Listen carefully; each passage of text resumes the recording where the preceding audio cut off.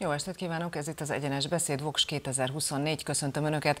A stúdióban itt már velem szemben Niedermüller Péter, a DK Erzsébetvárosi polgármester. Jó estét kívánok, Jó estét köszöntöm. kívánok. Majdnem pont egy évvel, szinte napra pont egy évvel ezelőtt jelentette be, hogy újrázni fog. Miért szeretne újraindulni? Mert elkezdtünk egy csomó fontos munkát, egy sor fontos fejlesztést, egy sor fontos átalakítást.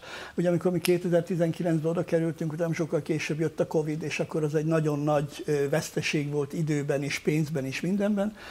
És most fokozatosan eljutottunk arra a pontra, amikor azt gondolom, hogy nagyon sok mindent megváltoztattunk pozitív értelemben Erzsébet városban, és ezt a munkát folytatni kell. Van, ami viszont nem sikerült, én most leginkább ezekre szeretnék fókuszálni. Egy-két dolog, ott a buli negyed kérdése. Most megint ettől hangos a hajtó. Volt egy olyan ígérete, hogy egy kulturális központot szeretne, magát a szót sem szereti, még talán beszélgettünk is erről itt. 19-ben azt ígérte, hogy megregulázza a buli negyed vendéglátósait. Most sorra jönnek azok a hírek, meg olyan, olyan nálunk is a híradó forgatott kint, olyan lakói vélemények, hogy rosszabb, mint valaha. Miért, miért nem sikerült ez ön szerint? Hát mert szerintem ez nincs így. Szerintem nem rosszabb, mint valaha, hanem jobb. Tehát ugye nagyon világosá kell tenni, hogy 2010 és 2019 között, tehát az előző önkormányzat alatt az ég a tegyvilágon semmi nem történt, többszörösére nőtt a vendéglátóhelyeknek a száma. Mi, amikor oda kerültünk, rögtön kettő dolgot mondtunk, az alap az éjféli záróra, és utána létrehozunk egy kritériumrendszert, aminek a betartásával lehet kérni hosszabb nyitvatartást. Ez meg is történt. Tehát aki azt mondja, hogy nem mondtuk a kritériumrendszert, az nem mond igazat egyszerűen. Tehát ezt megcsináltuk, és nagyon-nagyon sok olyan vendéglátóipari egység van, amelyik velünk együttműködik, és betartja ezeket a szabályokat, és igyekszik gondoskodni azon, hogy minél kisebb legyen a rumli.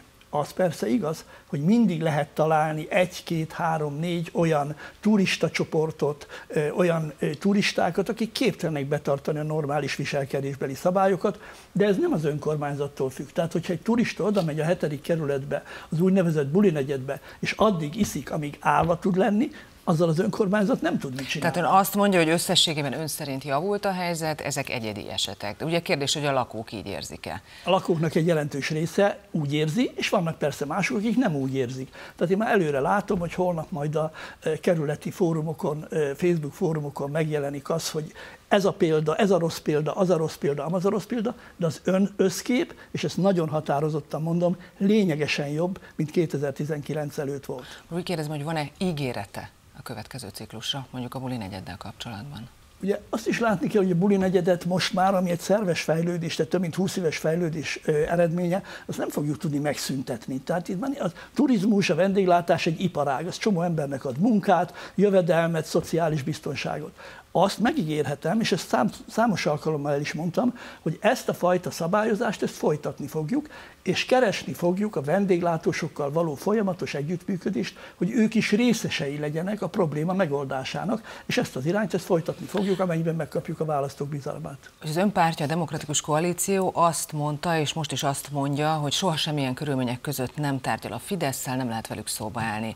Tudjuk, hogy ön tárgyalt Láng Zsoltal, beszéltünk is erről rezsitámogatásról, kapott is a kerület, aki ezt nem tette meg, például Szaniszló Sándor kerülete, ott ugye nem kaptak. Ilyenkor ön hogy dönt? Lehet még a jövőben hasonló eset? Mi alapján dönt? Hát én nem látom, hogy lenne ilyen eset, mert azóta se volt. Én gyorsan hozzáteszem, hogy... De a jövőben nem lehet ön szerint? Hát biztos, hogy nem. Hát 2026-ig egészen biztos, hogy a Fidesz lesz kormányon. Az igen, csak olyan nem lesz, hogy ellenzéki önkormányzatokhoz fordulnak. Tehát pontosan az a probléma, hogy annak idején is kapott a kerület 300 millió forintot, majd utána elvittek tőlünk 600 milliót. Tehát olyan, mintha nem is kaptunk volna. Nem. Tehát a Fidesz egyáltalán nem is foglalkozik ellenzéki kerületekkel, és ez egy drámaian súlyos probléma. Nem annyira a kerületek szempontjából, abból a szempontból is, hanem abból a politika felfogásnak a szempontjából, amelyik azt mondja, hogy ha te nem szavazol rám, akkor tőlem nem kapsz semmit. Ez mélyen ellentétes mindenféle fajta európai demokratikus hagyományjal. Na de mégiscsak így van. Tehát, hogy mégiscsak ugye ezt mondják, tehát mondjuk a kerületnek nem lenne jobb és hasznosabb egy fideszes polgármester? Ha már arra utalt, gondolom arra utalt, hogy Lázár János ugye azt mondta a hódmező vásárhelyieknek, hogy hát úgy szavazzanak, hogyha Márkizaj Pétert választják meg, akkor vessenek magukra, mert egy fillér támogatást nem fognak kapni. Arra ugyanúgy visszakérdezik, el tudja képzelni ezt a mondatot egy felelős politikus, egy miniszter szájából Európába bárhol? Nem. És ugye azt is mondanom kell, hogy mi onnantól fogva amióta ott vagyunk, nagyon következetesen két dolgot tartunk szem előtt. Egyrészt azt, hogy prudens módon, gazdaságosan végezzük a pénzügyeinket, gazdaságosan, takarékosan próbáljunk meg gazdálkodni, legyenek tartalékaink, miközben a fejlesztésekre is folyamatosan fordítunk, és hát persze sokkal jobb lenne, hogyha a gépjárműadót nem venni el tőlünk a kormány, vagy sokkal jobb lenne, most ebben az évben a hetedik kerület iparűzési adója megnőtt 500 millió forinttal, majd kiderült, hogy 600 millióval többet kell befizetnünk a szolidaritási alapba, ami egyébként egy tiszta rablás, tehát ott semmiféle szolidaritásról nincs szó.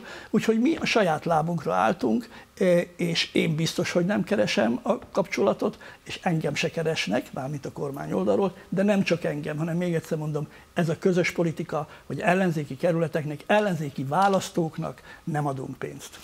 Mit szól Karácsony Gergely mai javaslatához, pontosabban nyílt leveléhez? Ugye az ellenzéki pártok vezetőinek írt egy nyílt levelet. A Demokratikus Koalíció azóta már egyébként a délután folyamán reagált, maga a párt az üdvözli ezt a, ezt a döntést. Ön polgármesterként hogy látja? Én azt gondolom, hogy függetlenül a DK állásfoglalását, amivel egyébként százszázalékosan egyetértek, azt gondolom, hogy ez egy jó irány. Tehát egészen nyilvánvaló az, és mindenki, aki a legminimálisabb politikai ismeretekkel rendelkezik, tudja, hogy ez az ország annyira, ez a társadalom annyira szétszakadt, hogy nincsenek köztes alternatívák. Vannak a kormánypárti szavazók, és vannak az ellenzéki szavazók. És hogy az ellenzéki szavazókon belül és az ellenzéki pártok, amiről vannak viták, az ebből a szempontból másodlagos.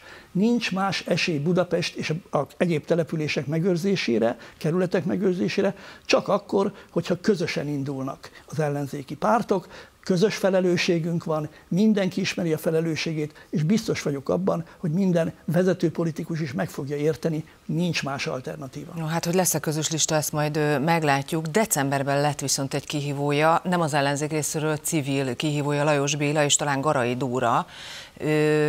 Ők mit gondol, mekkora veszélyt? Két kihívója van egyébként? Két civil kihívója Én van? Úgy tudom, hogy először is azt nem tudtam, hogy Garai képviselő asszony, aki most is tagja a testületnek, ő elindul, Lajos Béláról tudok, de én úgy tudom, hogy a mi hazánk is megnevezett valakit, akiről én elnézést kérek, de még a nevét se tudom, tehát ott a kerületben sem láttam soha. Ugye Garai képviselő azt, hogy most is alapvetően más álláspontokat képvisel, mint én vagy a koalíció. Lajos Béláról és a Színes Erzsébet városról viszonylag keveset, keveset tudok. Ők elsősorban belső Erzsébet városban ténykednek. Ugye nem mond az ember egy másik jelöltről olyat, hogy nincs semmi esélye. Én csak azt gondolom, hogy ők egy kisebb kiterjedésű mozgalmat jelentenek. Azt gondolom, hogy Erzsébet városnak nagyon sok, nagyon sok olyan problémája van, amiről a választási kampányban majd szintén beszélnünk kell. Ez biztos, hogy így lesz. Minden esetre ellenzéki kihívója egyelőre nincsen, mint a többi ellenzéki párt részéről. Fideszes kihívóról tud-e, hogy megnevezve nincs még, mit hall?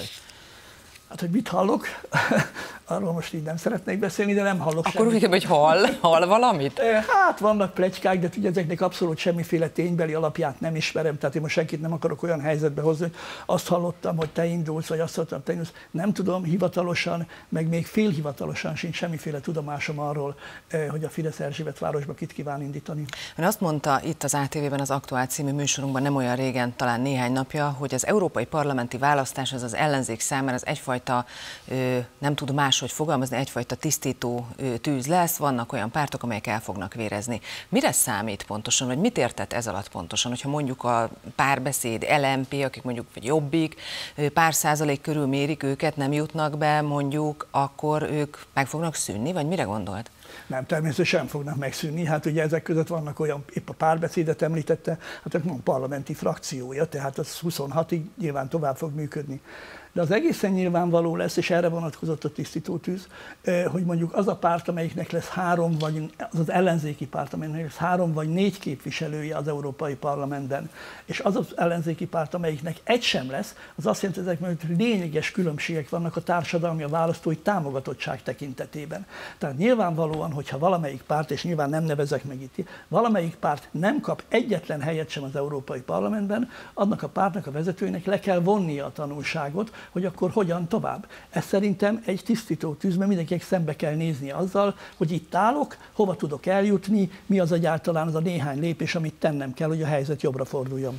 Polgármester úr, köszönöm, hogy itt volt nálunk. Én köszönöm, hogy itt lehettem.